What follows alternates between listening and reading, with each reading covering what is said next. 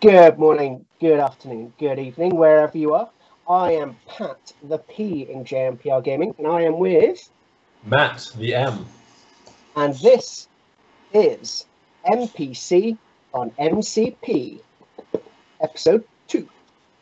You And- I did, thank you, thank you. And today, what we're going to be doing is looking at what do I buy next. So, um, we sort of touched upon the core set a little bit last week. I think most people getting into this game, we can agree the core set is just a must buy. It's so much value for money. You get two pretty decent affiliation or starts to affiliations. Um, but today we're going to be looking at what do I buy next, and I'm taking the role of the good guys in general. And we've got Matt, who is um, The villain of the piece. the villain of the piece. Exactly. So, So- what's been going on in MCP this week for you? Uh, I finished Sabretooth and Wolverine, Very good. so I am I back to having. Yeah, I know, I know. Um, I, I, I'm- I'm back to having every character painted until the Inhumans drop uh, next week. Oh, that's looking good. That's looking I'm good. Angela's Started on- good. Started on Angela. Um, but slight faux pas here.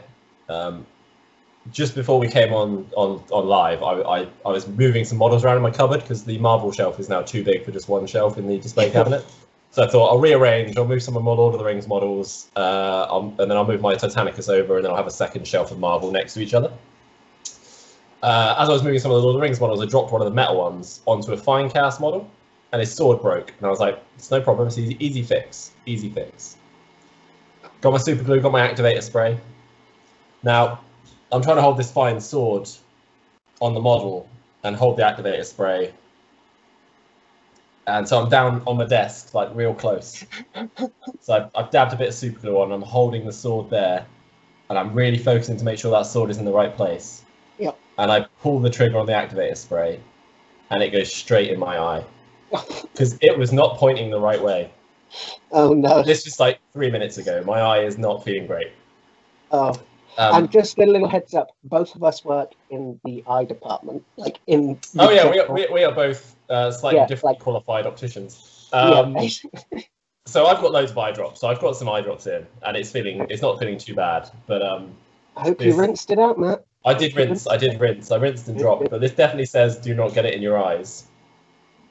So um, causes serious eye irritation, is what it says Wow. on this bottle. And literally, it was like it was as close as you could get because I was really concentrating on the model, straight in my open eye. So um, The most important question, though, Matt, is: is the sword glued to the uh, model again? no, no, it isn't because I dropped it obviously as soon as I sprayed it in my eye. I'll let you off. I'll let you off. so um, I, I will fix that later. Um, it's not urgent, but yeah, that was that was that was my little faux pas a minute ago. Can you can you see out of that eye? Okay. Yeah, I'm probably still six nine, which is Nice. which is what I normally am. Um, so yeah, the vision's fine. It's a little bit, it feels a bit weird, but um, Nice. other than that, uh, Sabretooth and Wolverine are finished. Um, Very nice. like you're not yesterday, day before. Mhm. Um, it's, Yeah, it's a quick it's it's a quick and easy easy paint job. They, they look fine. They'll look fine on the tabletop, which is what I always go for. they Um, look better. Than, they look better than that. they look fine. They look fine. Um, but so pretty happy with those. Back up to fully painted. Can't wait for the Inhumans. Uh, what we we we're guessing like ten days time ish. Yeah, I think I think I think we think it's two weeks, so that's pretty cool. Um, Been pretty quiet on my front. I just managed to pick up, um, finally managed to get down to picking up uh, Okoye and Shuri. oh, Um, I wasn't going to get them beforehand, but now that I've fallen in love with A Force, they seem like a shoe in. So hmm. I, I get the joys of putting together Shuri's head. So um, oh yeah, and her gloves. Don't forget her gloves are separate pieces. yeah, okay. I haven't even looked at it to be honest. Uh, I've been put off. The the jaws and her gloves are separate pieces. Um, just so you know. Well, I'll make use of the needle then on the plastic super glue I have. You will need it. Awesome. Awesome. Well, do you want to get cracking with our today's subject? which is Yeah. Um, so we'll go into what by then. Now, uh, I would I'd just like to point out that we did this in a way that it's more if you wanted to go into a specific um, affiliation, or you know, not not affiliation, but a specific um, good guy or bad guy theme. Um, so there are many ways you could do this, um, and um, we'll probably discuss a couple of other options as well. But this was our thoughts. If we could go back, know what we know now, and then sort of start rebuying stuff. Um, this is what we would do. Yeah. Um, Mainly because that's what we, we like to play with. yes, absolutely. This is completely biased. I think a quick heads up as well. Like there are obviously powerful characters in this game. You have your MODOKs, you have your Thors, you have you know your She-Hulks just come out, but I think you can win with just about anything in this game. So really play what you like, um, and that's basically what I've been doing. So I'm just maining one faction at the moment, and I'm just trying to get as many games in with that. And I think you're doing something similar where you've got your dual affiliation. So Yeah, Um, pretty, pretty similar. It's varying it slightly, but but very much sticking to the, the one theme as the core. Yeah, and I think that's cool. So basically, what you get in the starter set is you get um, a- load of characters, you get scenery, um, you get enough cards and crisis and in the crises and the tactics to have a perfectly good, you know, handful of games. And we did that. We we had a good couple of games with only the core box set before Absolutely.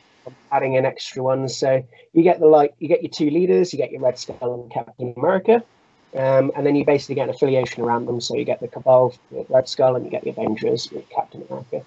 So that's what I sort of took as a starting point when I was like, oh, what do we what do we buy next? Um, and for me, I think the best, maybe not the best value, but you're going to get a lot of legs out of this box set. It's CP11, which is Thor and Valkyrie. I'm gonna I'm gonna pause you right there, Pat, and I'm just gonna bring it up on the screen for everyone to see. Awesome. Awesome.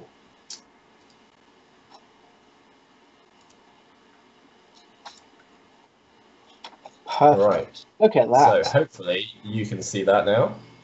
Yep, looks good to me. Um, so yeah, Wonderful.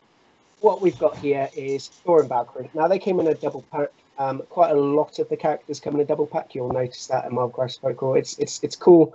Um, and with that box set, I think the main reason I went for this box set is you get Thor, who is leader of a second affiliation, um, and then you get Valkyrie, who's a member of said affiliation as well. So with only those two, it might it, it probably will be tricky to build an Avenger uh, an Asgard roster. Sorry, but you get all the the starts. Like you basically get a good starting block for what you need for it. Um, you also get a crisis in this box set, and that was one of the things I looked at in particular was trying to get as much value out of these boxes as possible. Um, so getting an extra crisis means there's an extra way of playing, just adds, you know, much more variety to your games. Less likely that every game you play you'll get the same missions, and it's a really good one as well. It's one that I try and play quite a lot. Um, Fear grips the world as you know worthy whatever everyone calls it as hammers. Um, It's hammers.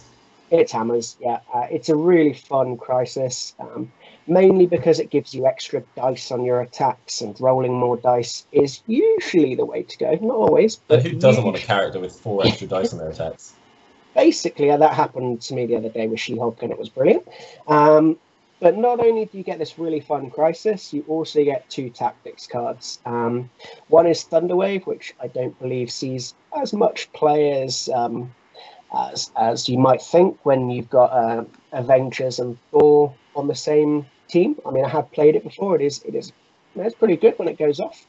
But the reason you really want this box is for Odin's Blessing. Now, Odin's Blessing is a fantastic Asgard affiliation tactics card. Um, you basically get to respond to being attacked. So it's after all the damage is decided, you can say, no, no, no, no, no.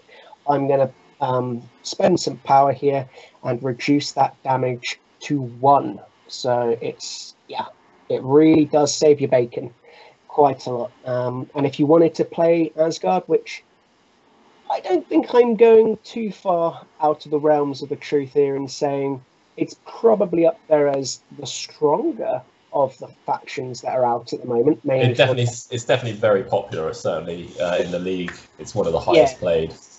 And it's mainly Factions. because you get really powerful characters, you get access to more um, power on your turn because the Asgardian special rule, instead of getting just the one power, you get the two power a turn. Um, and also, they're pretty good at the whole hired muscle play, which um, you know, the less we speak about, the better. But um, um, yeah, I think it's a really good value box. Um, like I said, it opens up that second affiliation, and you know, Thor can Thor is an Avenger. You can play Thor and Avengers, and he's a brilliant Avenger as well. Getting the Oh yeah. his special abilities is is very tasty. So um, that was my go-to first purchase. Um, for next one, now we had to wait a little while for it, even though technically I think Spider-Man and uh, Ghost Spider or Spider Gwen, as she'll always be known to me, um, CP10, so should have actually come out before Thor and Valkyrie, but didn't come out until quite a little bit later, some production issues. But oh, was it worth the wait? I really, I really like this uh, affiliation. Um, it opens up the Web Warriors with Miles as the leader, um, and obviously you get uh, Spider-Man, uh, Peter Parker in the core box set. So you can you, you've got the good starts of a Web Warriors affiliation there, um, with Ghost Spider appearing in quite a lot of rosters, even as an unaffiliated character for her ability to save other um, fighters. And she's a, a speedy character as well. They both are. Um, so yeah, it gives you access to another affiliation, which I think is always good. More diff- more ways of playing with regards to leadership abilities, and um, generally, I think Web Warriors play on a slightly different axis to both Asgard and Avengers. So really is just giving you as many options here as possible. Um, much like the Thor and Valkyrie box set, um, the Spider-Man Miles and Spider-Gwen box set does come with a um, Crisis card. So this is the Portals car um, Crisis, which is another really fun one. Um, you know, I think we've had a couple of good games with this one, um, trying to uh, get the spider infected. I think it's is it spider infected portals? I, I, I can't quite remember. Um, Um, it doesn't matter. It's, question. Yeah, it's it's a good one. Um, yeah, it is spider people. It's not spider infected. It's spider people. Spider people. Yeah, yeah. Yeah. But it is the one which I was thinking about on the D map. So it's another. It's the ones where they, if you have hold of them, they make you run around, isn't it? Potentially. Yeah, you basically can vanish um, and appear two two away from something else. So Oh, I thought it was the one that makes them makes your opponent get to move you short, not the push one. uh, no, this one- this one is the you you are placed within two of the current positions. oh, okay. That's yeah, yeah. yeah, it, it's it's good. It's good. I, I I think it's got a decent um, amount of play. It's another Mm. D map, so like hammers, um, I think we're opening up more uh, deployment options with regards to the missions. Um, and it also comes with three tactics cards. This box set, so you get all webbed up, all you've got, and Web Warrior, which are three really quite controlly sort of cards. Um, I think in particular, uh, all you've got is um, one that doesn't see as much play, or doesn't you know doesn't always see a lot of play, but when it does, it will really catch you off guard. This is the one where you can spend four power, and um, they just don't gain an activated token, but then they they they're dazed if they're healthy or KO'd if they're injured. So it's a bit of a risk, but um, a very powerful card that um, I think it's I've definitely more- come up against it a lot in the league. yeah, I think it's it's seeing more play, um, and then all webbed up and web warrior two sort of um, uh, web warrior affiliation cards, which are good as well. I can't profess to have played them that much. They're a, an affiliation I want to play, but really since A Force have come out, um, they've they've they've been the uh, the jewel in my jewel in my eye. You know, the ones that I want to be playing most of the time. Um, and funnily enough, keeping in trend, the third box that I've gone for here um, is another leader box. So we've got CP23 with Doctor Strange and Wong. Now, um, Doctor Strange is a really powerful car, uh, really powerful character. He's a, a leader again. So basically, what I've done with these first three box sets is open up these affiliations for for you. You know, the more affiliations you have, the more different styles of playing. You know, you can find that niche that you like to play in. And I think defenders are another really powerful affiliation. Um, it's a really good box set. You get Wong, who's a, a two threat character. So much like the Black Widow that you get in the um, core set, you've now got a couple of twos, which really opens up roster building as well. And not only this, but it's the first box um, that I got anyway that had one of the gems. So you get the Soul Gem with this one, um, which is a good gem with Doctor Strange. You know, he is he can use it. I think it's I think it's better than the Time Gem for him. Um, Agreed. and yeah, I think I think it's a, a really really good box set, and you know you effectively get three three characters in it if you count the Soul Gem as one. Yes, you need a character to take the Soul Gem, but there are a few few different characters you can. Strange being one. You also get another uh, Crisis. Um, so this is the Montesi formula. So it's a similar one. To, yeah, I really like this one. Um, it's similar to Gamma in the layout. So it's an EMAP, which is corridor straight through the middle, and um, you interact with the the, the the book. Basically, it's a spell book, and it opens up um, another attack for that character to use, and it's a beam attack. Um, it's an energy, and it's six dice. So I think it's a pretty good attack to, you know, put on some characters who maybe don't have a ranged attack or, you know, just need that extra. Maybe uh like it's an energy attack. Maybe they're only physical attackers and they need that second type of damage potential. So I I think it's a, I think it's a, a good fun one to play. I don't see it played as often as I think it should because I don't think it's as competitive in the sense that you can't really break it. Um, it's a very slow scoring um, crisis in the sense that you basically it, it's going to give up three victory points to whoever holds these three books on the on the map.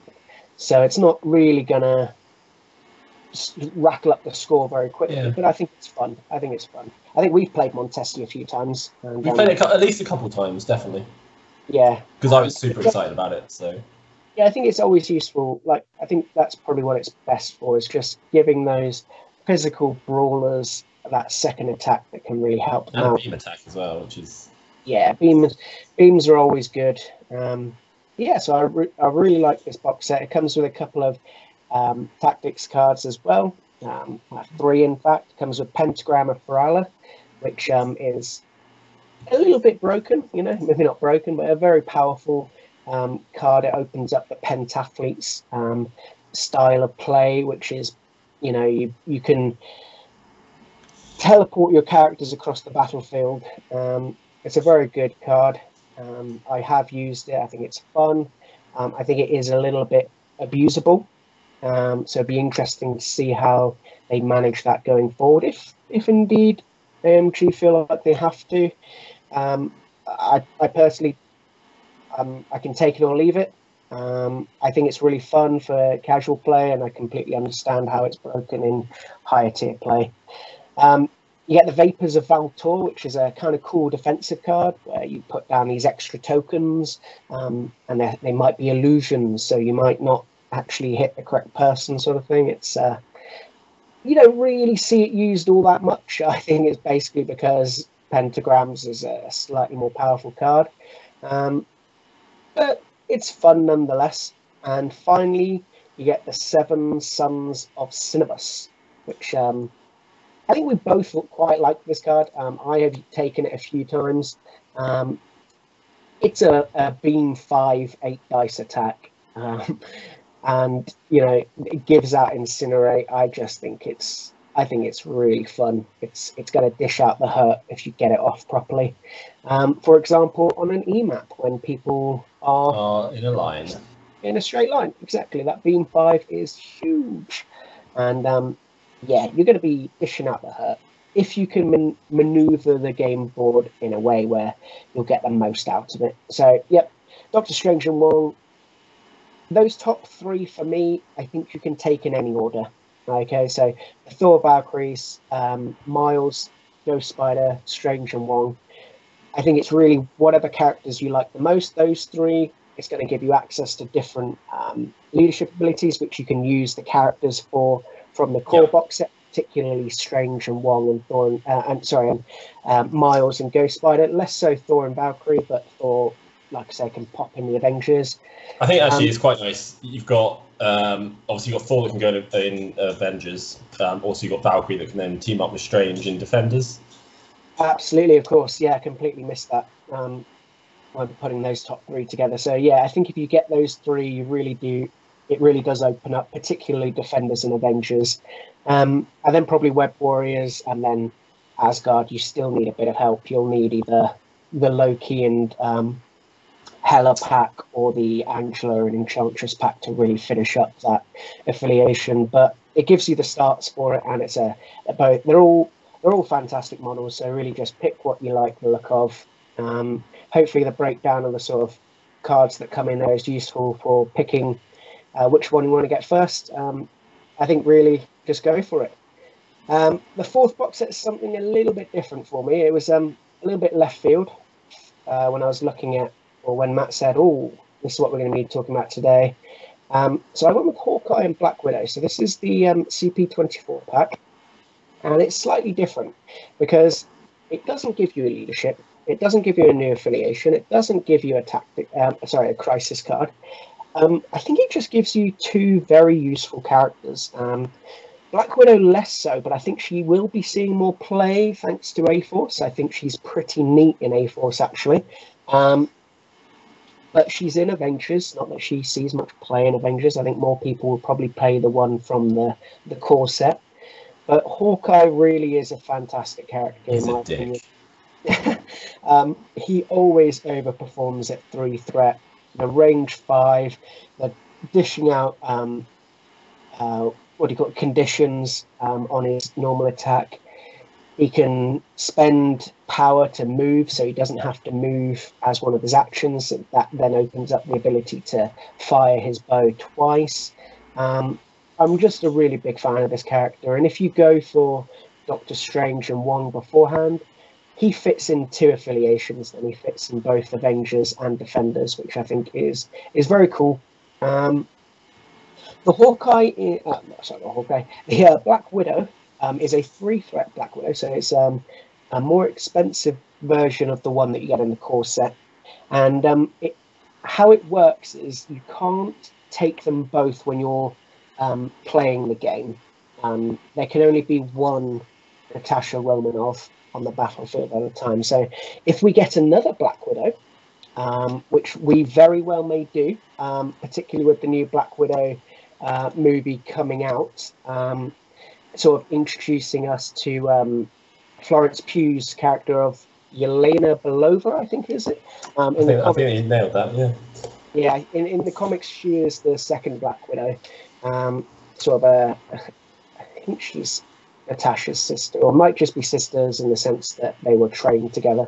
But if we get a, a Yelena um, Black Widow, for example, because she has a different um, sort of, what do they call them? Char- um, Alias. char- alias, yeah, because they'll have a different alias, you could take them both.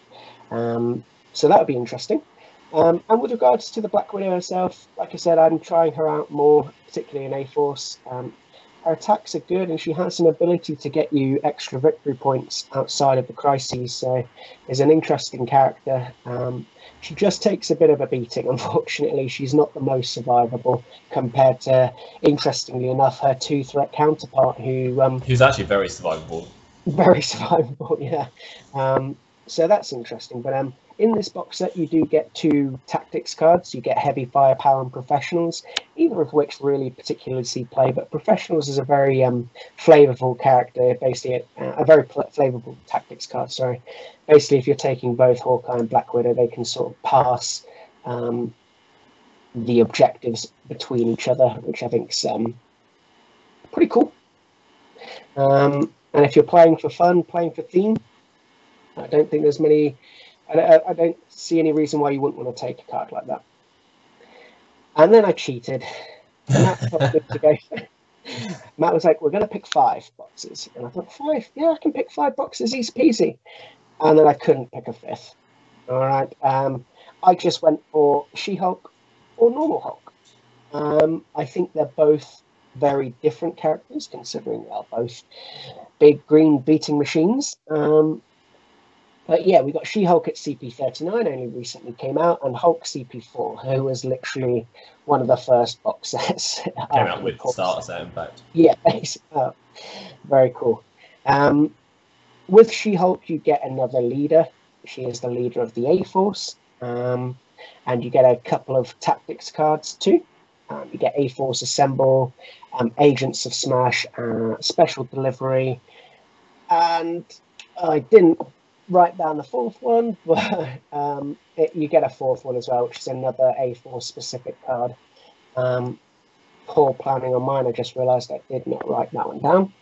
Um, but it is uh, Stalwart Defenders. Wow, just off the top of my head, awesome. Um, so I was like, it's the one that I play. I don't really play it or I play the other one. Um, they are four, three, shall I say, very powerful tactics cards in A Force Assemble, Stalwart Defenders, and Special Delivery. Agents of Smash is another fun, fluffy one. Um, you basically need to be playing both She-Hulk and Hulk, and you can just pick up a size 5 piece of terrain and throw it long, so it's bananas if it goes off. You Oh just yeah, need to have great. you just need to have 12 threat in She-Hulk and Hulk on the battlefield. Um, Oh, I still want to run Strange with the Soul Gem, She-Hulk and Hulk as defenders. At 18 in At defenders. 18, yeah. And if, I, if I get 20, even better, because I can chuck Wong in there as well. Yep, I, I'm, I'm a fan. I'm a fan. Um, I also just like at 14, um, She-Hulk, Hulk, and Okoye. Yes. yeah, yeah. I did play at 14 Strange, She-Hulk, and two Threat Black Widow. And that was actually a night. That was a nightmare. Yeah, I remember you saying. I remember you saying. So I think there's legs in it. I think She-Hulk is an extremely powerful character.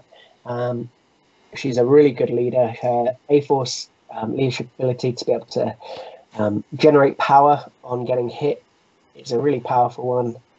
Um, and generally, I'm, I'm a massive fan at the moment. So that's why I sort of had to squeeze her in. On the flip side, you got Hulk, who's I think it's safe to say a little bit maligned in MCP. You know, he doesn't see that much play. He he's one of those I call him high floor, high ceiling characters. He's he's difficult to get his head your head round. Um, but boy, if he goes off in a game, he's a tough one. Um, he's a tough one. Um, so he fits in both Avengers and Defenders. So if you got Doctor Strange, you can you know slip him into a couple of affiliations. Then um, he does come with another um, another Crisis card, which is Gamma Waves, which is a very popular um, a very popular um, Crisis to play on. Um, it's another E1, so straight down the middle. It's quite funny because I think you say it's popular. I think it's very popular to play, but actually it's not not actually a popular to play. Like people play it, but it's not Yeah. popular. yeah, I think I, I completely understand what you're saying. Yeah, and the main reason, yeah, it's there's a lot of victory points um, on the board when you play Gamma. There are six victory points available from those three points. You get one for yours, two for the middle, three for your opponents.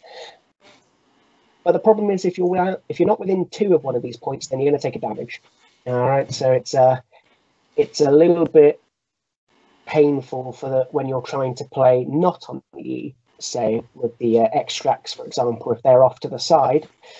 Unfortunately, it's going to be a little sacrifice and getting damaged there. So I don't mind it. I think it's quite fun. I think 15's a, an interesting threat level, which um, isn't used all that much. So I just think maybe um, Hulk gives you a little bit more uh, a little bit more cards that you can use, a few more cards that you can use out of the box with just the starter set, because you also get three tactics cards, two of which I have never really seen play: anger management and seeing red.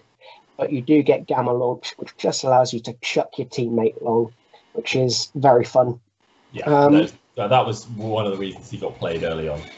Yeah, yeah, and I think I think um, he's seeing more play now with the whole uh, Doctor Strange pentagram pentathletes play, um, because funnily enough, when you you you move Hulk up right into the middle of your opponent's line, he will wreck face. Um, he will beat stuff into the ground. Um, both these characters have the downside. I'm doing air quotes here, not that you can see me. Um, of not having a flip side, which you know it definitely is a downside, but it's something that you can manage in game. I think. Um, but yeah, I think they're both two fun characters. Uh, I'm trying to get Hulk more on the battlefield at the moment. I've played a fair bit of She-Hulk over the last couple of weeks. Um, and really, I think with these six box sets and the core set, you're going to have a really nice collection and plenty of options with both models, Crisis, and a good suite of powerful tactics cards as well. Um, because actually, you know, the ones from the core set are, not, are pretty good as well.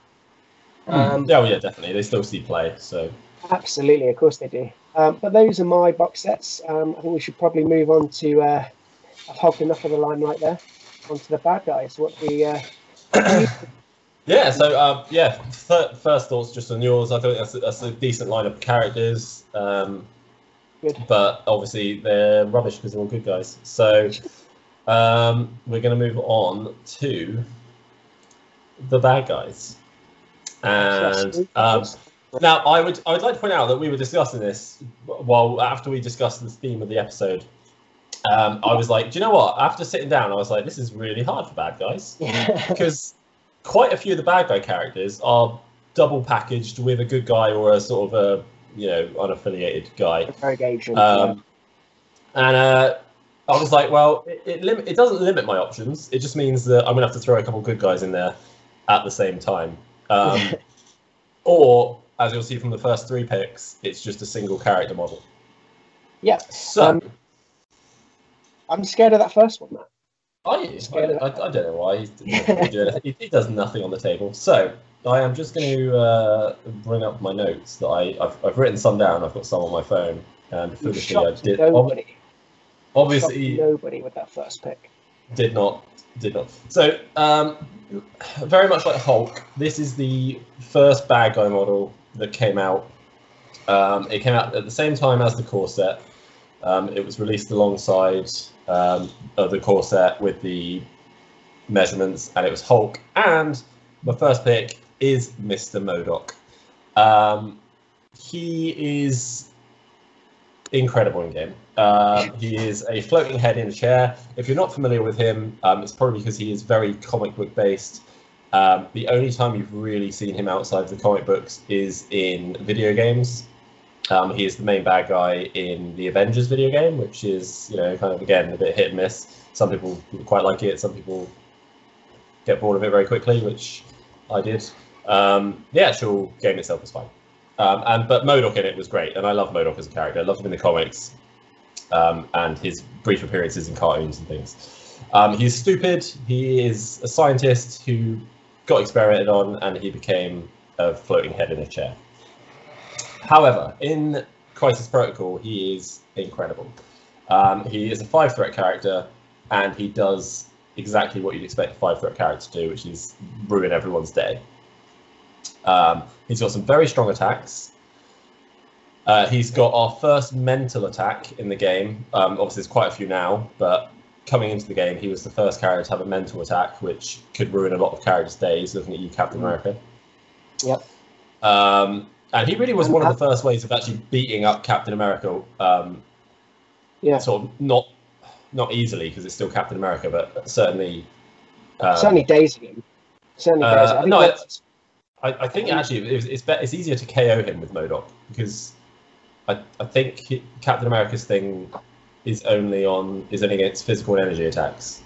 Oh, that is true. Yeah. I yeah, think. Yeah. I'm just guessing. I, I, I haven't played Captain America in a long time, so. Uh, no, it makes sense. That's for the vibranium shield. I was more just thinking for the um, I can do this all day when he is dazed because. Uh, yeah, of course, blanks count as well. Yeah, blanks count. So. So yeah, so he is very hard, but MODOK definitely does help um, reduce oh, absolutely. that. Um, and he also comes with a tactics uh, crisis card as well, um, which is alien ship crashes downtown. Now this is one of the ones where it's a C map, so there's three across the middle. Um, and it's a slightly random one. Is that you have to search them. So again, it can be a bit annoying, but there are ways now in the game to mitigate that a little bit. Um, but you basically, on a crit, you find the alien power core, and you get to like run away with it. It's worth a few victory points. It's just if you don't find it early in the game, it's obviously not worth many points. So um, it can be a tad I mean, annoying. Yeah, just to jump in here, you can go the whole game and never find it. To be honest. Yeah. yeah. Which, um, I actually think this one's on a crit or a wild. I'm just I'm trying to remember off the top of my head though. No, So no, it's this not- is it's- just a crit. It's roll two it's dice. just a crit? It's just a crit. Yeah. Just okay. All right. So it is the same as um, scroll leader person. yeah. Yeah. Okay. So yeah, you can go the whole game without finding it. Now the reality gem is a way of helping with that. Absolutely. Uh, What's that? Absolutely, yeah. No, Yeah, yeah, yeah. Um, which I uh, only realised recently actually because I didn't realise I thought it was only on attacks and defence rolls, but it's actually on interact rolls as well, um, which is which is great. Which changes the skull to a crit, so um, that's good. Um, so he also comes with some decent tactics cards. He's got his aim lackeys, which allows you to move another character, um, which is always you know movement in this game is key. Um, Psychic Fortress, which is a basically gives cover to all the characters within three of him. Sounds about right. Sounds about right. Uh, I am just doing most of this off the top of my head. Um, he also has Recalibration Matrix, which is a pretty good card. Doesn't see a huge amount of play, but Yeah. essentially after an attack has all been rolled and everything, you can pay three power. I think it's three power, um, and you can basically it makes ev- both players re-roll all the attack and all the defense dice. Um, so that can really, if if you if the person you're playing against had a really good defense roll and you just like nah no, um, it, it's pretty good. Um, I don't see it all that much, but I guess because it's quite expensive, but it can change a game. Um, Yeah. So that is MODOK. Um, it's also an awesome model. Like it's still possibly my probably my top five models in the game. I'm not sure in what order I've decided on these, but definitely in the top five. I think they just it, they perfectly encapsulated the ludicrousness that is MODOK. Oh, 100%. He's he's I think, like yeah. he's got his frown on. You know he's like cursing someone. yeah, for, for like no reason. Probably a minion. He's just like, for God's sake, do you not Yeah. know who I am? And I Um, just want to chime in here as well. I've just found out that MODOK's getting an animated se- series this year, Matt. oh yeah, he is. Uh, do you know what though? I'm not sure. I'm. I'm. So as much as I will watch it, I know I'll watch it. Like there's no doubt I won't watch it. But it, it it's an in, it's like him and his family. Yeah, it's stop motion as well. So if you're not into stop motion, So um, I, I uh like I'm keen, but at the same and I like the voice actors and stuff are great, but um because yeah, it's uh, Patton Oswalt. Patton Patton. Yeah. Um, I'm just not convinced it's going to be quite where I want it. Yeah, It, it, I, I would rather see MODOK as the antagonist of like a new live action show because I'd love to see him done in live action because it'd be stupid. brilliant. Um, so my second pick, and oh, also MODOK is in the Cabal, um, and Yeah. also in the Criminal Syndicate, which we're now about to get to. Nice, smooth. yeah, thanks. Transitions. so we have the King of Crime, um, the Kingpin, Mr. Wilson Fisk. Um, such a great bad guy. Um, he's been in like he's been whereas MODOK's really not been in anything much. Like he's been in like there's plenty he's been in, but not really as a main character. You now have the Kingpin, who is a main Spider-Man bad guy, a main Daredevil bad guy. He's been in uh, Defenders. He's been in loads of other stuff that I can't now think of, but I definitely have written down somewhere. Um, he's been played by loads of different actors. Vincent D'Onofrio in Daredevil was Chef's kiss. so good. Not quite as like big as like you know some of them are, but I don't care. He filled that role to perfection. He was. Oh, he was. just so it's such a presence. And if he doesn't get into the MCU, I'm going to be so disappointed. Um, I, I, get everything crossed for this. Everything. This is Yeah. all I want. This is all I want. Is just Vincent D'Onofrio um, in the MCU yeah. with Spider-Man, with Daredevil, with Oh my She-Hulk, god! with Opposite whatever. Tom Holland, I can just see it. I can just see it. He's so good. Yeah. Um, he he's he would uh, he would also be up there in terms of performance of bad guys, along with Alfred Molina as Doctor Octopus. Yeah. Because that was also perfect. Yeah, I agree. I agree. Um, off topic, but anyway. So Kingpin, absolutely great. Um, he is the leader of the criminal syndicate. His leadership ability is bonkers. Um, if you want to play objective play style games, um, and not so much about the beating up of people, although they can, you know, don't get me wrong, criminal syndicate can definitely do that. Um, Kingpin is your man to do that. Um, and he just helps you take objectives and um, helps you score a lot of points. He's also an absolute tank in game. He can just take a beating. Um, he can definitely be, be taken out, but he, he, he can. He's got decent defenses. He can reduce damage, um, and you know it's Kingpin, so he headbutts people a lot. Oh, yeah. Um, in his box set, you get another crisis card. You get uh, Mayor Fisk vows to find missing witnesses, which is a 16 threat. You got me lost. I don't ever choose it because it's a I know, I can't remember if it's 16 or 14. It's It's- uh, 16. It is 16, yeah. I, I can't remember what the 14 one is. I always get those confused. Um, Senators is 14. senators, thank you. Yeah. Yeah. So, um, missing witnesses, there's two objectives on the table. Yeah. I think. Um, and it's um, they can't they're, they're what they're civilians, but you don't pick them up, and they kind of run around and stun people Yeah. as trying to claim them, which is annoying, but it's actually a really fun one to play, and it's going to be similar to the Terrigen Mist Mm, scenario that they've show, shown off now with um, Inhumans. Yeah. Um, it's exactly the same setup as Terrigen Mist, actually. And they, they move, but they cause poison instead of stun. So that's going to be cool. Um, his team tactics cards, he also comes with arguably the most likely to be restricted card coming up in the restrictions. We'll get to that one last. He's got his two um, Criminal Syndicate cards, all according to plan, which is. Um, ah, I've not played it because I don't know if it's worth it, but then I the more I think about it, the more I think it's probably worth it if you can pull it off. Um, but you basically spend 10 power across all of your characters and you get to be first player. Oh, I think it's amazing. I think it's brilliant. I just It's just the 10 power. I know you can spread it out across all your characters, but late late game, if you're quite powered up and you, you Yeah. really need that turn, then it it is probably worth it. I just haven't been brave enough to, to try it yet. I also think it's tricky because Criminal Syndicate tend to go a little bit taller they don't tend to go quite as wide. So you Yeah. don't have as many characters with as much power.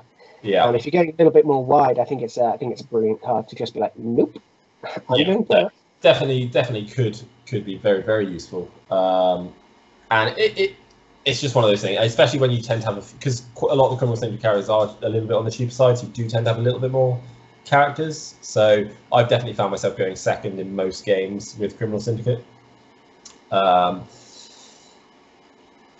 at some point i'll give it a go um, just not brave enough yet. So the second card is Shadow Organization. Now this is a card I really like because it shuts down characters like Hawkeye and Rocket Raccoon. Uh, basically, in the power phase, any criminal syndicate character can spend two power, and they basically gain stealth. They can't be can't be targeted by attacks unless um, the enemy character is within two, uh, range two of them, um, and that's great. Especially if you're holding objectives, you've got a character that might be running off with an objective that you don't want easily shot. Um, I used it against Pat when he had his Thanos. Um, his Thanos Mhm. wasn't able to get two attacks off. It turned out in the end he could only get one. Completely fluffed the attack, and then MODOK absolutely annihilated Thanos. It was perfect. Yep.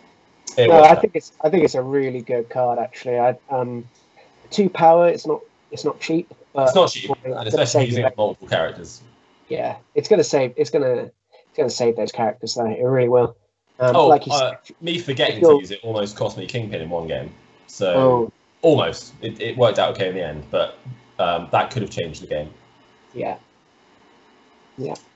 Uh, and his last card is is um, it's uh, so I didn't really see a problem with it until I realised it wasn't a criminal syndicate only card. Um, it's hired muscle. Uh, now this card basically lets you um, move up, spend one power, and any civilian objective within two within range three, you can move two, range two. Yeah. Uh, and honestly, in Criminal Syndicate, not a huge problem, especially if you try to pull it off first turn to drag a few objectives towards you, because generally you don't then have the power to grab the further away ones anyway. Then it got used against me with Asgard, and suddenly I realised why it was a problem, because three of the civilians just got gobbled up by the hungry power carrying Asgardians. And uh, luckily I had some well laid plans, but. Um, uh, it, it, it, yeah, it's an issue in. Um, I would, I would argue, Asgardians and maybe Black Order. Do they get extra power? No. Well, No. they do if have gems, I suppose. yeah. Um, I think you see it more in Criminal Syndicate and Asgard. Um, there are Yeah, it's definitely good. Like, it's good in any faction, essentially. Oh, Yeah, I know the other one. I was, I know the other one I was thinking of that would be really good for, but I haven't tried it yet. Is Brotherhood, with Mystique's leadership ability. because Yeah. then you can it, um, only still the characters doing it still can't get the power, but Um, obviously, any other character that are grabbing them gets to refund that one power. Or what you could actually do is run forward, grab one, get your power back, and then use hide muscle. I can see it. So that might be something I try if it doesn't get banned or restricted. I, I, it's, I think it's verging on banned, but I think it'll be restricted. Yeah. Yeah, Uh, I, I, I, I, am with you. I, I lean on the side of I, I think it should be banned. I guess without the game, I think it's a headache. But you know, I, Or, I or it gets FAQ to be a specific um, affiliation. I don't think that will happen, but I, Yeah. I feel like it's less of a problem in Criminal Syndicate. I would agree. Um, so that is that is Mr. Fisk. Um, he, like I said, leader of Criminal Syndicate. Um, awesome, awesome model. Um, standing on Daredevil's um, on the uh, Nelson and Murdoch sign, uh, which is just just oh, Vincent, Yeah. get into the MCU. Yeah, it's amazing. Uh, my third pick is another leader. Um, me and Pat went sort of uh, sort of similar on this, um, and this is the leader of the Spider Foes. This is Norman Osborn, the Green Goblin. Um, this was definitely my favorite model when it came out. Yeah. and it is again definitely up there in top top. I would say he's probably in the top three Yeah, Um, this, this model is fantastic. because oh, this is '90s cartoon Spider-Man, Yeah. and oh my god, just so so good. Just just buy it. I don't care if you don't even like. I don't care if you're not even going to play him. Go and buy that model. It's it's so good, and I want more '90s Spider-Man bad guys. oh yes. Um, now he doesn't come with a lot. Um, his he he himself. Uh, it's not a great leadership ability. Spider foes. It's okay. Ooh, ooh, ooh. It's it's okay. ooh. like it's, it's not bottom like bottom level leadership abilities. It's fine. It's like it's fine. Like Yep.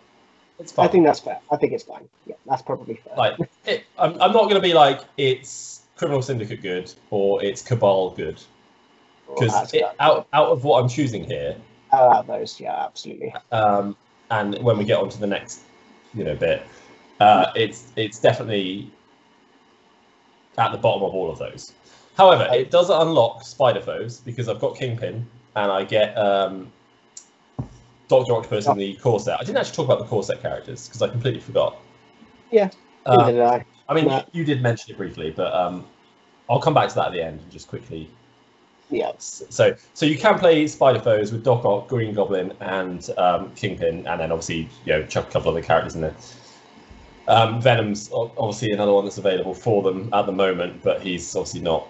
Um, he didn't make. He didn't quite make my list. Um, Yeah. Just because like yeah, he's not. He's not quite quite yeah. quite good I think it's the same reason he didn't quite make my list. Is I'm taking another. You need another box set to really open him up. So Yeah. for you, you need a Green Goblin to open up Venom. For me, I needed uh, Miles and Ghost Spider to open up Yeah, Venom. I think if I yeah, that's the thing. I think if you don't take Green Goblin, you pro- I probably would have put Venom in there, but I needed Venom. I needed Green Goblin there to really make use of Venom. Yeah. So it, it counts. You know, he got knocked off the list basically. Um, the tactics cards that Goblin comes with, uh, he only comes with two.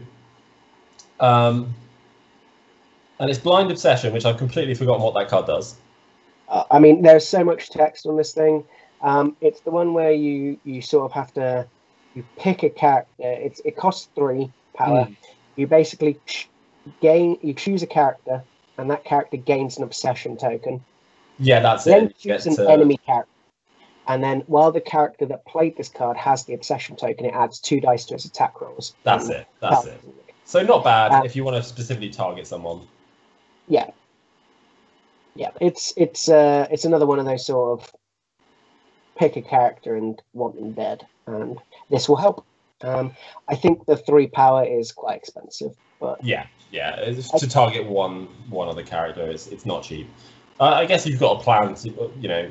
Exactly. This If, is- if this the a got a big character opposite you, it might be worth it. But this is definitely a build around ta- team tactics cards. Like you you you take blind obsession with the intention of using blind obsession to its max. Um, Yeah. This isn't one that just randomly makes your eight, and you might throw it in every now and then. Um, I think you need to really know what you're doing with this card.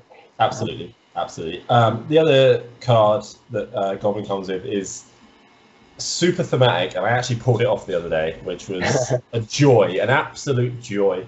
Um, it's called Well Laid Plans, and it requires you to have Doctor Octopus and Green Goblin on the table. You spend three power with both of them, and every enemy model holding an objective token doesn't matter what the, uh, civilian or asset token, I believe, which I think is basically any objective It's token. it's just it just says objective token. actually. Oh, does it? Okay, I'm Yeah, thinking yeah, yeah. card then. Um, I think I'm thinking I might be thinking of criminal syndicate leadership actually. Um, so anyone holding an objective, any enemy character holding an objective, you roll five dice. For every crit wild, That's it. that's it. Yep. They take a damage, and if they take a damage, they automatically drop their objective token. Yeah. And it doesn't matter where on the table they are at this point. There's, there's no specific range. My opponent was Yeah. completely like, really? There's no range? I'm like, nah. Um, uh, it's just so good. Like it, it, it's an investment, and you do have to. Again, you're building around this card. Yeah. But it, and it, but it is unaffiliated, so you don't have to be running Spider Foes to do this because Green Goblin Yes, is we- also in Criminal Syndicate, He is exactly. Yeah. um, which I- again makes a good choice for this. Yeah. The selection of characters you've chosen. Yeah. Um, there's plenty of crossover in in this. So the first three characters I've chosen are basically all Criminal Syndicate.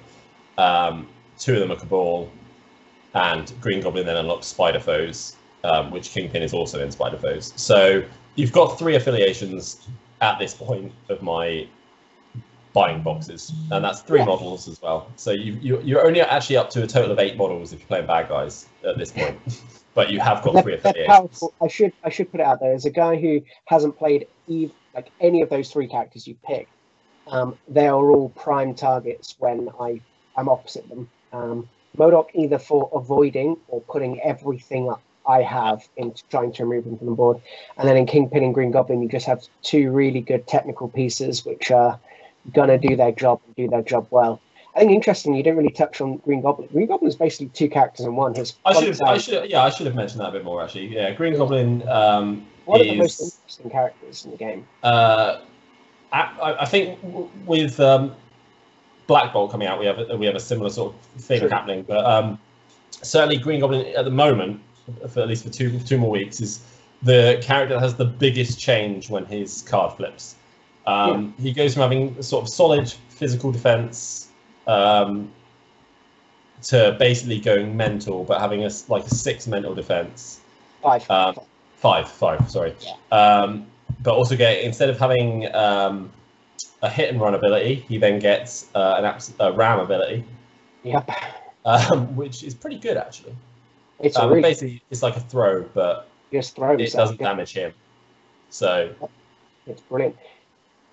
um, Um, and other throws are changes- arguably harder to dodge than attacks. Oh, absolutely. Yeah, So, absolutely. Depends who you're doing it against, but It's just because you don't need to roll the dice, is it? It's, it's Exactly.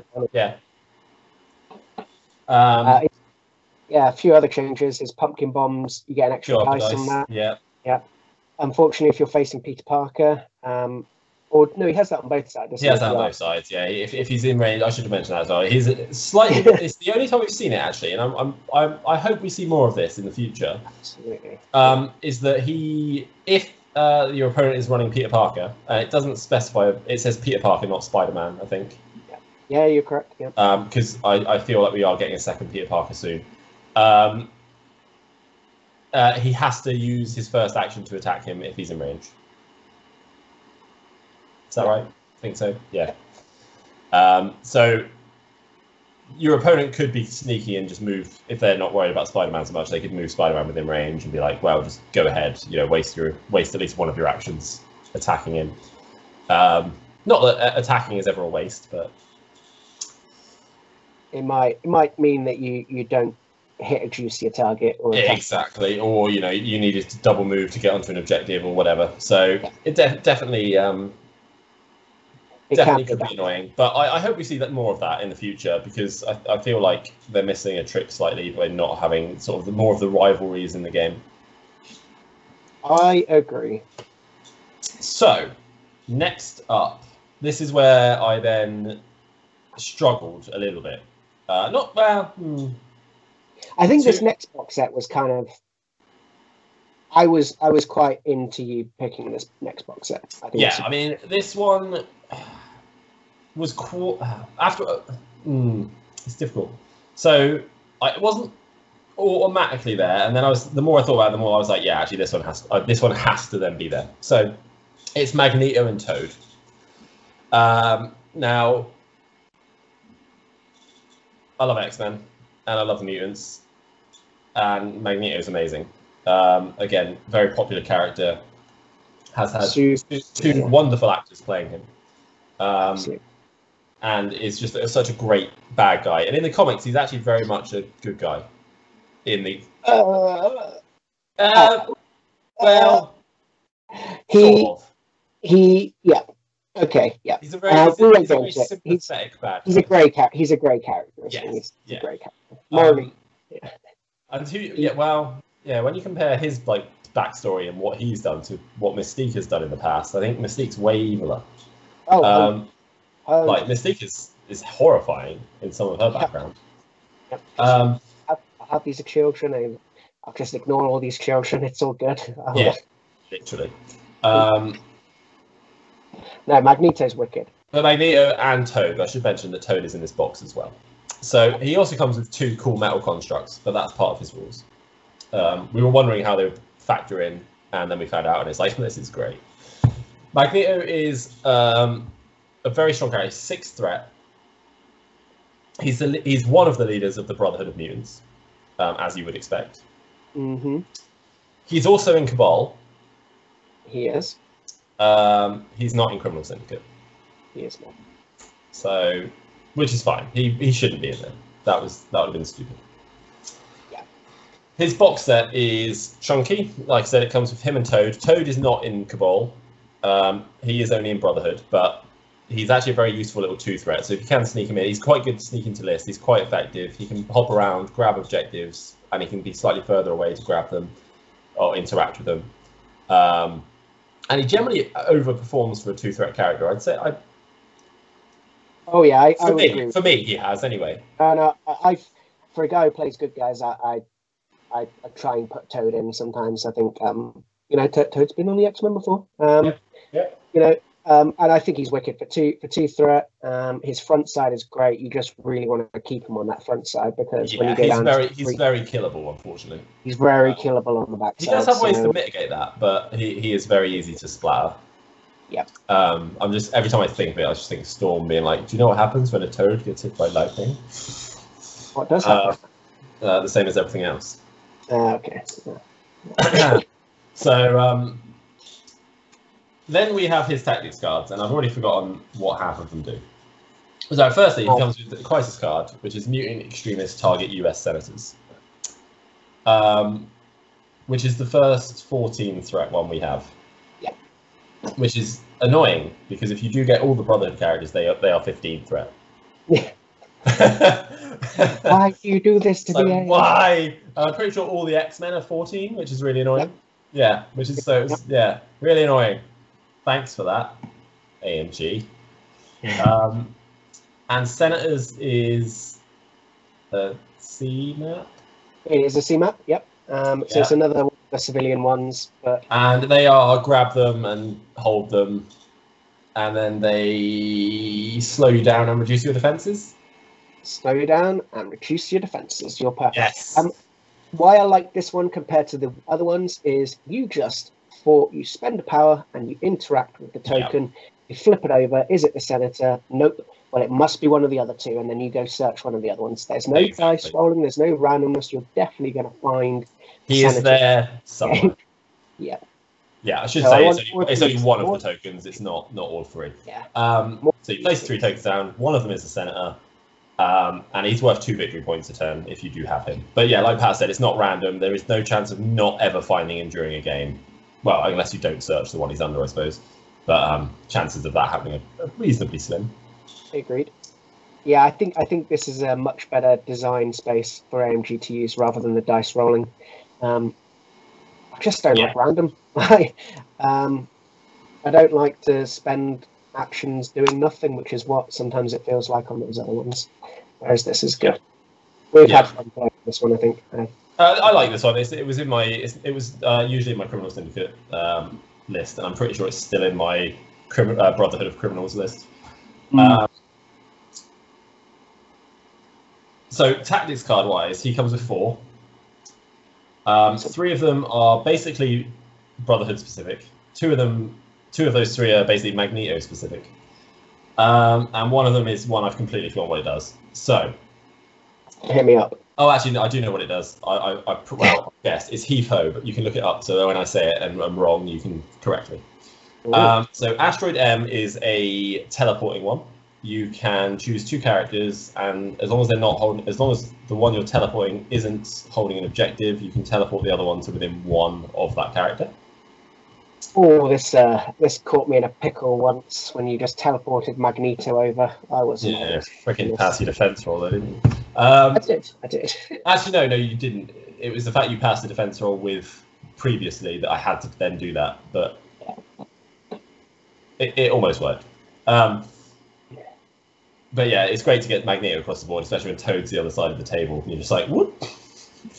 Okay, so we've got Magnetic Refraction next, um, which is uh, the first reusable card that we've had in the game. If you're playing Brotherhood, uh, Magneto can use uh, this card. He's a bit like uh, Aim Lack, uh, not Aim Lack, he's Psychic Force Field by MODOK. Uh, he basically gives a cover bonus to anyone near him. And if you are playing the Brotherhood affiliation, it can then go back into your tactics cards and you can use it again later in the game. I think it's two or three power, um, but to provide cover for your um, guys, it's really useful. Yeah, Uh, two power. two power, yeah, yeah. So to provide cover that uh, in a bubble, that's really good. Uh, then we've got Magnetic Crush, um, which is an attack card that Magnetic can use, and it's pretty horrendous. Um, he basically sucks up all of the terrain nearby, uh, which it gets destroyed, adds that number of the size of all the terrain you've destroyed into the attack roll, um, and then you just wipe away a character on the table. But Matt, is it not usually to a maximum of ten dice on on these attacks? Oh no, Pat! There is no maximum. Yeah, that was that was a beast who My 14 dice That's magnetic splattered. crush onto uh, Beast or Cyclops, whoever it was. it was beast. Yeah, It was Beast. Oh, poor Beast. Um, yeah, that was that was fun rolling that many dice. It's just nice to roll that many dice sometimes. It is. Um, it it's um. Yeah, it's a good card. I, I, I not wouldn't necessarily say it was a must take. Um, I would say magnetic refraction is actually a better card. Um, Oh yeah, I agree. unless you unless you do just have someone you need to crush, in which case then take crush. Um, then we've got heave ho, which I can't remember exactly what it does. I'm Oh. pretty sure I know the card has got blob and toad on it, and they're Well, throwing a. depends on what version you have, Matt. Because Oh, this, this is a reprint. reprint. Yeah, so the. X-Men one has blob and toad on it. Yeah, the Um, other one I think has Rocket and Strange. Weirdly Oh, enough, okay. but yeah, Um, I'm pretty sure it's it's a throw. it is a throw. Yeah, it's it's a within two size two throw, throw it medium for one power from each of those two characters. So it's a cheap throw, It's a um, and it allows characters that can't normally throw to throw. Yeah.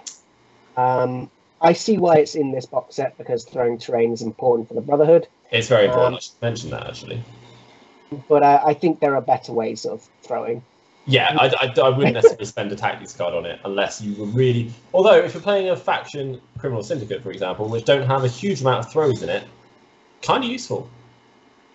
It's just size two, Matt. That's what I look at, and it It's makes still me a sad. three damage. I can take out Rocket. You can take out an injured toad as well. Yeah, that's true. Um, so Magneto himself is sixth threat. He does a lot of work. He's got some very good attacks. He's got some very good special abilities that mostly involve throwing things. Um, he has very good defenses uh, if you, uh, especially if you spend some power. Um, and his leadership ability is bonkers. If you want to be a battery of power, uh, basically any terrain that gets destroyed, you can just dish out power from the size of the terrain to different characters. And this is like every time someone destroys a piece of terrain. Um, you can only get affected by it once per turn, so each character can only gain it once per activation, essentially. Um, but with It just means with- you're probably not running out of power. you're just not. it really you're just not running out of power. Um, I mean, I think we did play a game once where you literally ran out of terrain that you could use. So that I is think there was, a, there was a couple of bits the far corner, but then Yeah. Magneto is placing his structures every turn, so there's always going to be some. It was always that. Yeah, it was. It was. All, you always have that to fall back on. Yeah, so Magneto does place his little metal structures, and if there's not two on the table, you can place one, and he gains extra power from it, and then you can obviously use it as um, you can either use it as uh, line of sight for his attacks, and then it gets destroyed, which gets you power, um, or you can throw it, or you can use it to just generate more power from Magneto. So Magneto never really runs out of power unless like you literally run out of terrain, which doesn't tend to happen. I mean, you can No. also just have those turns where you're like, I am spending everything. There is also it is terrifying. so. Terrifying. following on from this box was uh, I basically ended up because Pat cheated. I thought I'd cheat, um, and I'll talk about these at the same time because I'm only going to really talk about the bad guys, but then I'll quickly go over um, the good guys that come with them and why they're kind of useful. Um, so it was either Wolverine, uh, sorry, Wolverine and Sabretooth, uh, or Mystique and Beast. Now, annoyingly, they split these packs up so that you got one good guy and one bad guy in each one. Don't know why. I, I mean, I understand Wolverine and Sabretooth. Yeah. I don't really understand Mystique and Beast. I, apart from they're, they're both, blue. That literally, I was, I was like, they're both blue. I, I, I'm annoyed that it wasn't um, the other way around. Um, I agree. that- and it wasn't Mystique and Sabretooth and Wolverine and Beast. Just because people that want to buy a more specific like affiliation then had to buy at least three boxes. If you wanted to play X Men, you had Storm and Cyclops, Wolverine and Sabretooth, Mystique and Beast. And if you want to play Cabal, it's Magneto Toad, Wolverine and Sabretooth, Mystique and Beast. So kind of annoying, but I I, I do understand the Wolverine, Wolverine and Sabretooth box. I. Um, so, Sabretooth is um, uh, an attacking character. He moves long. He has some good attacks. He can heal. Um, he can move when he gets attacked, Yeah. so he can get close he's- to the opponent. He can counter. He's chunky as well. You know, he's 12, 12 health. He's got Yeah, healing. he's decent factor. health. It's Um, and he's he's just a very aggressive character if you want him to be. Um, and the Yeah. fact that he heals um, is nice. Doesn't heal quite as much as Wolverine, but that's fine. Um, you also get some decent cards in his box. So you've got one two punch, which is a reprint. Um, and Pat's now going to tell you what it does. Whoa, whoa, whoa! You can't put me on the spot like that. All right, I'll go into the next ones and you can back that. Um, I only written down like the specific ones. I know what Um, one does. So I, I, um, I think you need basically two allied. Char- you need allied characters within two of each other. You spend the power each, and you add two dice. That's what I thought it was. That's, that, that's what I thought it was. A Like- couple of extra dice in an attack if you've got two characters. It's not. wi- It's not great, but It's fine. yeah. Again, it's, it's It's probably cheap. not going to take up one of your eight slots, but if you've got a reason for it, maybe maybe it would. Yeah. Um, then you've got Weapon X program. Um, now this is great, Yeah. um, and I'm going to be playing this hopefully soon. Mhm. Uh, this allows you to throw the character. Is it short? Yeah, it's only short. Yep. But again, if you collide with something, you don't take any damage, and your opponent's going to have to roll some dodge dice. Oh, yes. Um, so it, it, it's arguably some free damage. Um, but it costs two power. Uh, I think it's three. Okay, Yeah, it's it's not cheap, but um, I think because that's yeah, fine. both both Sabretooth and Wolverine are size three when they're being thrown. So you know that's four damage that's just just going in. It's as well effectively Yeah. if you want to be getting in. Um, and then we have a card similar to Odin's Blessing, but the the uh, the mutant. But well, no, it's not really the mutant version. I don't believe. It's just 'Cause it's just if you've got healing factor. if you've got healing factor. So if we see any other characters down the line with healing factor, we haven't got any at the moment, but I'm assuming at some point we will get some. Um, exceptional healing allows you to reduce damage you take to one. Um, so if you've got that, so if that opponent does, you know, spike those dice real high, hmm um, and you're like, oh, you're taking ten damage. It's like, no, I'm not. It. I'm taking It's good. one, and then I'm going to activate Sabretooth and heal that one I just took, um, which is great, uh, which is a really good card. So Sabretooth is really fun. Now, on the flip side of that, you've got Mystique. Now, Mystique has a long move as well. Um, she's Yeah. certainly not as tanky. Um, Nope. She doesn't generate as much power um, because her attacks are. She, uh, her pistol attacks just generate you one guaranteed power rather than equal to damage dealt, which is good. And they do have the rapid fire rule, so you could generate two power a turn if- or four power if you're doing it twice. Yep. Um, you do have to roll a hit, which sounds easy. It's not. Until it's not. It's not. It's not easy. Um, she does have a decent second attack actually, Yeah, oh, it's a um, really good one. which- It's a really good which causes stun before damage is dealt. Which uh, stun means your opponent only ever gains one power off the attack. Um, so before the, doing it before the damage is dealt, because normally it's done afterwards. But um, I basically used her against Valkyrie uh, the other day. Not the, not the best matchup in close combat. Not going to argue with that. But Mystique runs in. I think she was already stood there actually. Um, uses. Uh, I've completely forgotten what the attack. Espionage. Espionage. Espionage. Uh, it's a six dice attack. I spiked reasonably well. I think I did six damage off of this, Nice. um, which is nice. Uh, which is enough to one shot Valkyrie. Um, he played, or he went to play Odin's Blessing, and then I went. Uh, unfortunately, Mystique is a shapeshifter, and she shuts down any reactive abilities or reactive tactics cards. So he went Yeah. bugger, and Valkyrie went boof. But actually, she just got dazed. She wasn't. She wasn't KO'd. Um, Still nice. revenge next turn, but it was very nice. Um, and that shapeshifter ability is so useful when they're trying to play defensive abilities that are reactive, and you're like, nah, you can't do that. Uh, I think it's really good. Uh, she also has access to Deception, um, which is a tactics card, which is a Mystique only tactics card. It is free, which is bonkers that it doesn't cost anything to do. Um, and you select an enemy character within range four that isn't within range two of any non-dazed uh, friendly characters, friendly to them. Um, and you can make them move their speed in the direction of Mystique.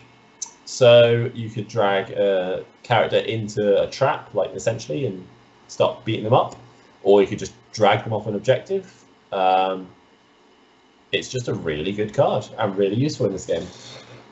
It's great. Um, she also comes with the Books of Truth, which allows you to re-roll all of your dice in an attack roll or defense roll, and Yeah, it's like including recalibration skulls. matrix. Yeah, it's basically like recalibration matrix, but I think it's it's just your dice, though, isn't it? exactly, yeah, it's just Yeah. your dice. Um, but it's, it's skulls as well, which is the same as recalibration matrix, which is good. Um, so it's literally every dice, not just the ones that are re-rollable. Um, and she comes with a reprint of Advanced R&D, which is a very useful card, especially in Brotherhood, um, because it allows you to spread power out amongst your other characters. So one character can play it, spend an amount of power, you can then spread that power out amongst your other characters. Um, and this is actually a really useful card to have in Brotherhood, because you do tend to end up with quite a bit of power, especially if you're using Magneto's um, leadership. That being said, Mystique is the second leader of the Brotherhood, um, and she has some pretty interesting uh, leadership ability herself. Arguably, it could be better than Magneto's if you're playing a very um, objective-based game. Uh, Magneto's is a bit more aggressive, um, but Mystique allows you to regain a power if you're picking up an extract token.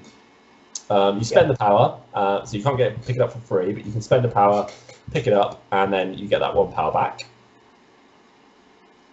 And also, you gives another option of you can interact with a secure token, um, and place a token on it, and you count as holding that, even if you then move away from it. So you basically get a little marker that just says, "Oh, this is mine," until it gets taken away by the opponent. So it doesn't count as a character for contesting, um, but it is there. So if you if you have a backfield objective or maybe in a far corner objective and you want to just hold it and then go away, you can do that. Um, as long as you know the opponent doesn't run in behind you, it's yours for the rest of the game until it's not. Um, which I think is really useful. I think it's brilliant. I think it's underutilized. I think we're going to see more of it as we go forward. I think it was just there was a big shiny toy. Oh, Magneto is, is definitely. it- Yeah, it's it's hard to be like I'm using Magneto and Mystique. I'm going to use Mystique's leadership because, it, it, well, it's Magneto. Like, like he should be. Yeah.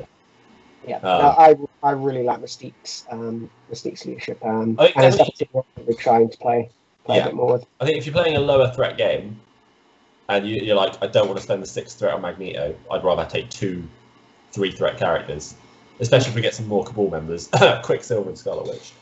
Um, then Agreed. not Cabal, I meant Brotherhood. Um, they're also Cabal, I think. Oh no, they're Avengers, aren't they? They're they're Avengers. We think, we hope. Uh, I think Scarlet Witch is already confirmed for it. I, I, maybe not. Maybe not. I can't remember.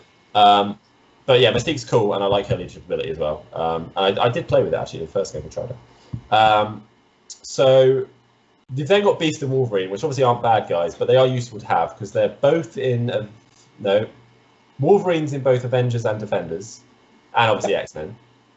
Mhm. And Beast is in Avengers and X Men. So I'm not. I don't want to talk about them too much because they're, they're good guys, but. It, it, I mean, if- if you've got the Beast has- core set, uh, if, you, if you've got the part of the core set, Brotherhood, uh, part of the Brotherhood before. yeah, but he's obviously not in He's not in the game. But the game. Not. But yeah, and I mean, it, it's two characters. You've got a, is Wolverine four threat or three threat? um, Wolverine is four. Yeah, and Beast is three. So you've got a couple extra characters. So you, you can, you know, like there is no mix and you know there is no just evil and just good in this game. You can play whatever you want. This is just the way we've split it down. Is I wanted to talk about bad guys and Pat wanted to talk about good guys. Um, but Wolverine and Beast go quite well with the core set uh, in terms of your Avengers. So it's definitely not a bad. They're not bad characters to pick up um, if you've just got the core set and then what I've laid out here. Um, so jumping back to the core set quickly, you've got Crossbones, uh, Baron Zemo, um, Doc Ock, uh, Red Skull, and Ultron. Ultron doesn't do anything. In from from the way I feel, he's in Cabal, but Yeah. arguably he I think is the least popular character in the game currently, At the moment, I would agree. alongside Black Widow three. Yeah. Well, Black Widow two, but three threat is what I meant. I knew. Um, I think those two are, are the lowest taken characters currently. they were in, they were in the league, weren't they? They were the I think they were they were in this latest league, yeah, which is basically what I'm judging it on. Um, Baron Zemo is still a solid character in Cabal, and also I think he's in Criminal Syndicate. Uh, no, no, Cabal um, only. Zemo. Oh, is he? He, qu- he works quite well in Criminal Syndicate though. Um, basically, he gives rerolls to anyone within a certain range, um, and he, he uh, yeah, um, and he can he gets some work done. Like he's fast, he's a long mover. Um, I replaced him with Mystique basically in my Criminal Syndicate list because Mystique I think does what I want a little bit better because she's also got stealth and can hide. Um, more options for you as well. yeah, yeah, yeah. Um, Crossbones is Criminal Syndicate. Um, he doesn't get a lot of play, but he definitely isn't bad. Like he's he's probably underutilized. Um, he's it's because he's a slow mover. Yeah, it's the as long as we get more movement cards and as long as those movement cards are seen play, so you know, climbing gear, aim lackeys, that sort of thing. I think Crossbones is fine. He, yeah, I think Crossbones is fine. He reduces down. damage. Yeah, he will not go down, and he will put people down. Um, yeah, if they get close enough. yeah, close enough, exactly. I think um, you just need to work around the fact that he's a slow mover. Yeah, absolutely. And then uh, Red Skull is a great leader um, for Cabal. I don't want to talk about him too much because I haven't used him all that much, but he's he's good. He's got his movement shenanigans. Um, he can. He's got some good tactics cards from the core set that, that boost him up as well. Um, but at this point, we're assuming you've kind of already bought the core set. But um, Doc Ock is actually a really useful character. Again, I think he's possibly a little bit underutilized because Spider Foes isn't that great in affiliation currently. Um, Agreed.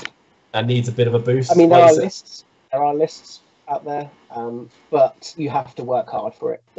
Yeah, Whereas, yeah. I think uh, you're, I think you're the other ones are as it, it's certainly not something you can play as a pure list currently and do like well with. You could win games, but I wouldn't say you could do well with it. Yeah. Because you've got four models currently. Agreed. Um, Very cool. Very cool. so yeah, um, that is what I would recommend um, to buy I first. Um, The other option, and this is just one other option for bad guys, is you can go completely different, and this is this is a three box purchase. Um, okay. This is you buy the core set, then you forget Mhm. about the core set, people, because who cares? And then you buy Thanos, Corvus and Okay, Proxima, Black Dwarf and Ebony Maw, and you've got all the gems. So you can do a ten. Uh, you can do a ten roster just with that, with all the gems, Thanos. Um, it's going to cost you about the same as probably all five of these boxes, but I mean, that's just Thanos, isn't it? it's pretty awesome. Like It's great. I got Like- Thanos for Christmas, and it comes with an extra way of playing as well, which you can Thanos use your boxes. core set. Yeah, you can use your core set to play this extra way of playing. Um, I definitely want to get around to doing that. Um, oh yeah, when you play the ultimate encounters, uh, we haven't actually done that yet. So No, but um, yeah, I could see that happening too. But uh, I think you should just go down whichever route you like the characters of most. If you like the good guys, I think the ones I put out are pretty good. If you like the bad guys, I think the ones you put out are really smart. Um, but go where your heart takes you. yeah, go with what characters you love at the end of the day, and then once you get into the game, then you can like make more informed decisions. But that's you know this is what we this is what we decided. Agreed. if we went back and did it all again and we're just focusing on good or evil, this is what we would do. So, over to the last bit of the show now. Um, we are going to take a, a look at the latest um, reveal uh, for the next set of characters. We looked at Black Bolt in the last episode. His queen has arrived uh, with a full reveal. And I'm going to bring that up on the screen now, hopefully. Um, here we have the Queen Medusa. of Attilan, Medusa. Uh, Medusa Lith, Amaquelin, Boltagon. Um. Love it. um, the you know one of the founding members of the Frightful Four, which I think she's probably most well known for. Uh, I'm going to go with no, but carry on. Introduced in 1961 as a Fantastic Four bad guy. I'm not even going to go on. It's done. Right, let's look at the card. Yeah, She's fantastic. the Inhuman Queen. Um, go for it, Pat. You, you did so well on, Bolt, on Black Bolt last week. Take it away. So let's start at the top. We have a four threat character, so one threat less than her husband. Um, she has six stamina on both sides, a medium mover, size two, with threes across the board in defenses. So we're looking at here pretty, I would say maybe just slightly below par for a four threat character with threes across the board. Um, yeah, you'd expect one six- four maybe. Yeah, maybe one four, but six stamina is pretty nice. yeah, twelve total is good. 12 it's a good total. We've got two attacks on both. Um, i think i'm just going to state here uh, nothing changes from one side to the other. Um, she's one of those quite simple characters where cut exactly in half you know six threat either side everything stays the same. It's a nice easy character to get your head around with the stat with the actual numbers and such. Um, so the first attack we've got is a braid bash range three strength five cost of zero um, with the whole after this attack is resolved, this character gains uh, power equal to the damage dealt. Um, so that's a pretty good builder, um, but it additionally has a couple of extra rules. So if this attack deals any damage and the target is size 3 or less, after the attack is resolved, this character may push the target character short. So it's a nice little control piece, um, pushing people off target, um, off objectives, um, and size 3 covers you know, a good proportion of the characters in the game. Um, but on a wild, we get another ability. So we get Flurry. Um, and after a wee bit of research, um, we did find out that this is the first card with, or the first, yeah, attack with Flurry that's free. So on a builder, all the other ones tend to cost cost power, which I think is quite interesting. Um, so on a wild, you basically get to make the Braid Bash attack again. Um, this attack does not have the flurry special, so you can't just keep chaining them into each other. That would be uh, a little bit silly. But we have here a really good builder, I think, um, which is Yeah, good solid. because I think she's going to be very power hungry. Um, especially when we look at her next attack, which is an area two attack, seven power, um, with a cost of six. So this is a really powerful attack, um, or a really expensive attack, I should say. Six dice is obviously powerful in area two. Um, area dice. Oh, sorry, seven dice, correct. um, get confused with the six cost seven dice. Um, area two is a good good range. Um, before damage is dealt, if the target character is size three or less, place the target character within one of this character. So she basically can drag people in So again, if Medusa's not on an objective, she wants to take someone off the objective, but for whatever reason can't use the braid bash or you know the throwaway won't be good enough, she needs to bring them forward. This here is a really cool attack. And on Unwild, we get bleed. And bleed is a, a condition which was around quite a lot at the beginning of the game. A few of the core um, core box characters have bleed, but basically it means once you've activated that character, after the activation, they take damage. Um, so it's an annoying one. You basically always have to remember that, you know, if you're going to daze, you probably want to shake it unless there's something more important to do. Um, but it's it's a good it's a good one, and with seven dice, I think it's it's pretty likely that this thing's going to go off. Um, oh yeah. I can't see when it will always be that useful to use split ends compared to braid bash. Um, uh, I've got one example in my head. Oh, hit me. You're playing gamma shelters. Okay. Your opponent's got like three models around like the middle gamma shelter. Yep. You move her up to within just just within two of the gamma shelter. Okay. You use split ends and put all of them behind her, so they're all out of range one or range two of the gamma shelter. So not only are they off the point, but they're also going to be taking a damage. I like it, Matthew. So potentially they could be bleeding out of the gamma shelter, and obviously hopefully you've done some damage with the attack as well. But that's like the only like definite like this is when I would 100% yeah. use it if I've got the. I think it's also good that you don't actually need to deal damage to be able to move. No, it's before it's before the damage is even dealt. You uh, chuck them. Yeah. So just lifting them up over her head is, is I imagine that's quite funny. So that's a really good point. I think you've um, you sold me on it. That's a definite good reason to use split ends. Um, fantastic. Um, Medusa has four superpowers. Well, she's got five, but one of them is immunity to poison, which it looks like quite a lot of both. I think all of the Inhumans are going to have that. Yeah, I would agree, um, especially when looking at the Terrigenesis. Oh my crisis. god! Yes, that just clicked. Yeah. I, oh my um, god! How did? Oh, so dumb. Never mind. Never mind. Um, we also think all the Inhumans are going to have the Inhuman special rule, like what the Asgardians have the Asgard special rule. So it basically gives you a reroll on either attack or defenses, or, or both, I should say, um, but only one. So that's a little bit more forgiving for the threes across the board. It's almost like that fourth dice. Um, if you don't have to use the reroll, you've probably either rolled very well or you've rolled a ton of skulls and you can't re-roll them, mm. um, which we have seen happen. So the other superpowers, um, I think, are slightly more interesting. Um, so the first um, active superpower we've got is Hair Flip. Um, so Hair Flip costs three power.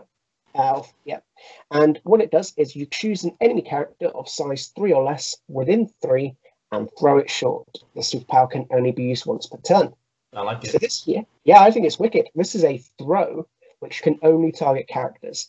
First um, one, I think first one, I believe. Yep. So size three covers, like I said, a large proportion of the characters in the game. Within three, that's a decent range. Decent short, range. yeah. Short isn't great, but I think this is solid. I think three power. You're going to be trying to do this as much as possible.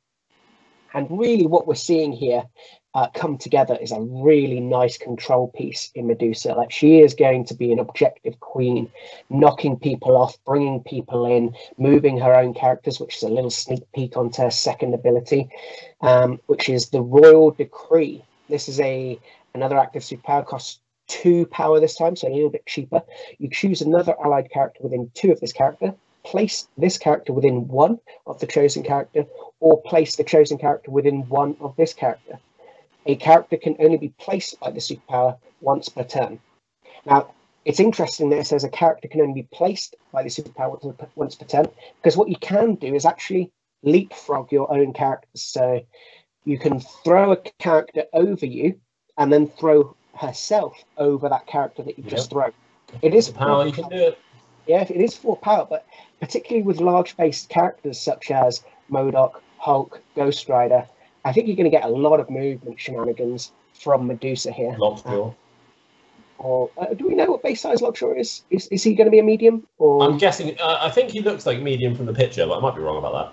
Yeah, I actually haven't looked. That's a really good point. Um, but yeah, Lockjaw. Then um, I, I think we can assume he's probably not a short base. He's at least a small base. He's a big doggo. He's a big doggo, exactly. I think this. I think this ability really makes the card. um, this Royal Decree. Um, movement shenanigans are always good, um, and really adding extra movement to characters who might need it, who are slow movers, such as you, you know we're looking at Magneto on a large base, who's a slow mover, Kingpin, who's on a larger base, who's a slow mover. Um, yeah, even even characters who are medium movers, you know, Hulk is going to get a good amount of use out of this. I, I think this is really cool. And just to get people onto objectives to be able to dish out the pain while Medusa whips her hair back and forth and knocks people off the objectives. I think it's brilliant. Um, and the final power, um, the final superpower is Living Strands. So this is um, exactly the same as Angela. Um, I think it's slightly less useful. Angela's is really useful because she's on that larger base. Medusa's on a, a regular Oh, yeah. small base, so it isn't going to get quite as much use out of it. But basically, what it means is when advancing or climbing, enemy characters cannot place the movement tool overlapping this character's base.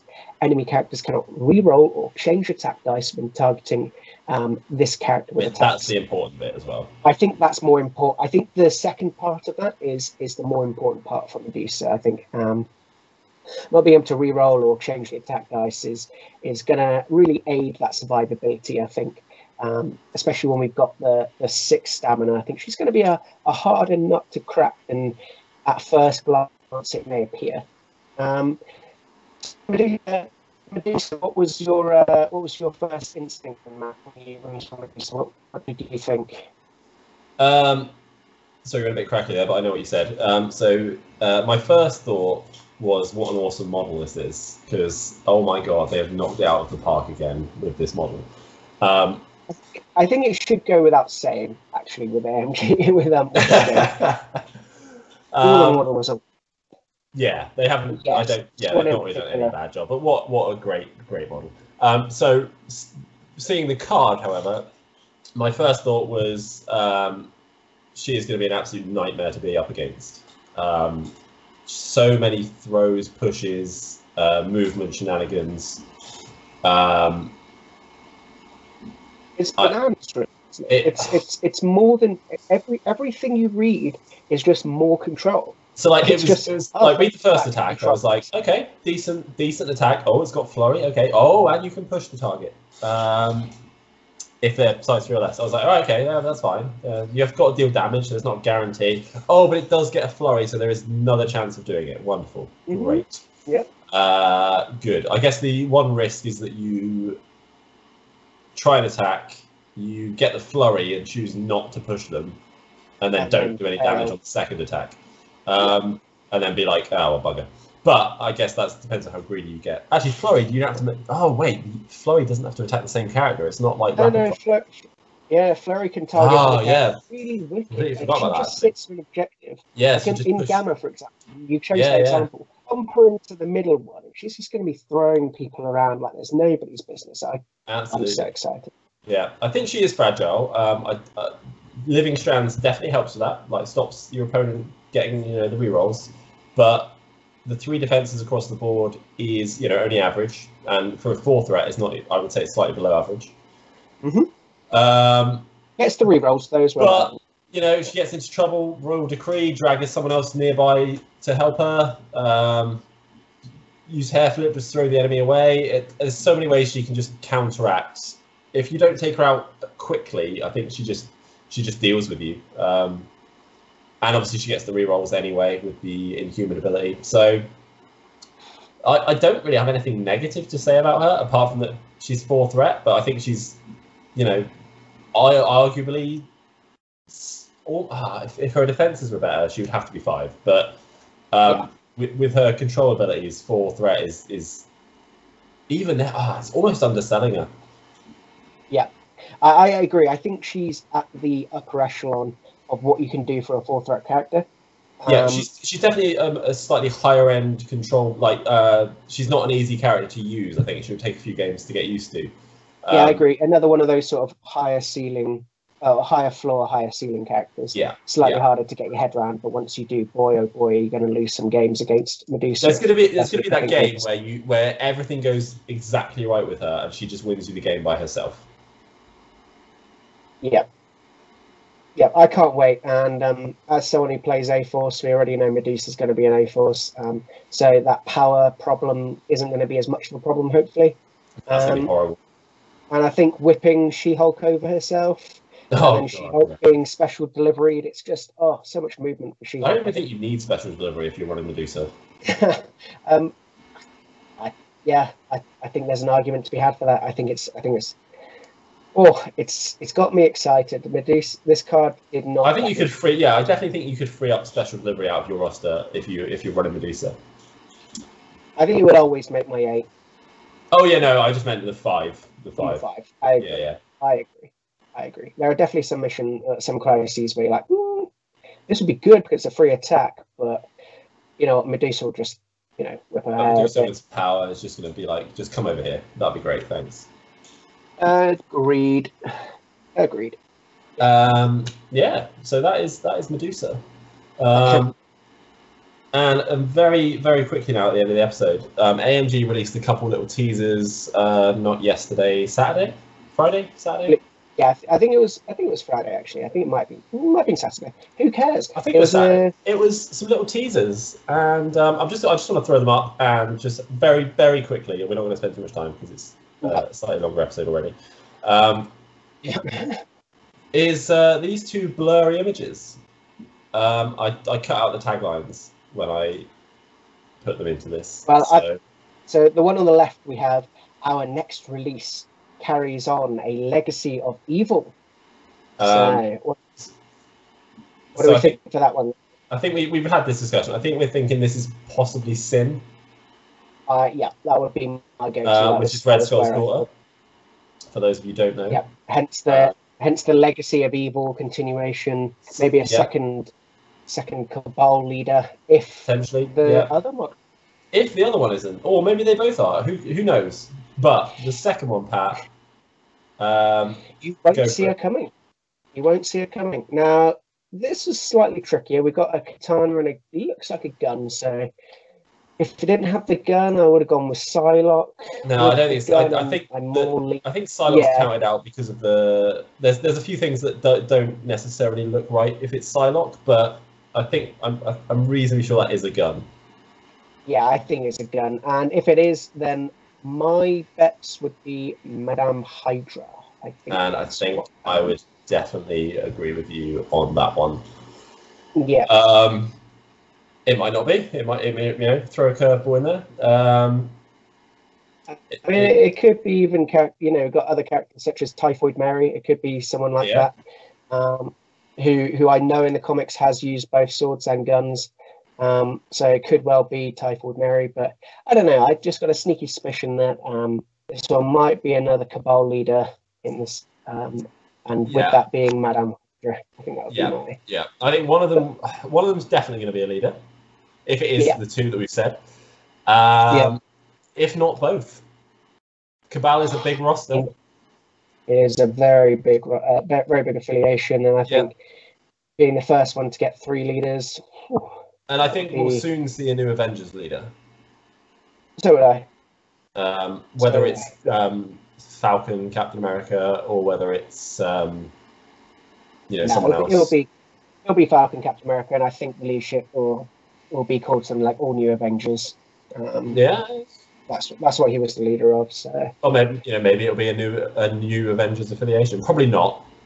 no, But- yeah, I think it'll just, Um, I think it would just be straight into Avengers, and it'll be like uh, Mystique's, which is called the Freedom Force, which is obviously a slightly split off part of the Brotherhood. Um, Yeah. And they've just named the leadership ability after it.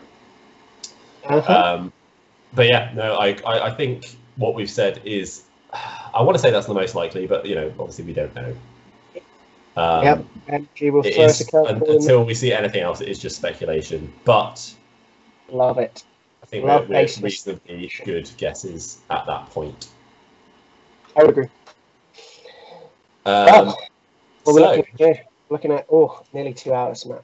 This is good. yeah, it- there's there's definitely some stuff to cut out of that. Um, so we'll we'll be fine there. Um, It's fun. I think I hopefully um, new players have got something out of it, and you know, hopefully other people um, agree with us about Medusa. I think she's a really exciting character, and um, let's wait and see what those extra reveals are from AMG with the blurry photos. Oh yes, hopefully we'll get those next week. Uh, hopefully we'll get Crystal and Lockjaw next week, Mhm. um, and then the week after we're going to get the models themselves. So fingers crossed. So thanks for watching, guys. Uh, this was MPC on MCP, Indeed. and uh, we'll be back in uh, a week or so with another episode. Thanks for watching.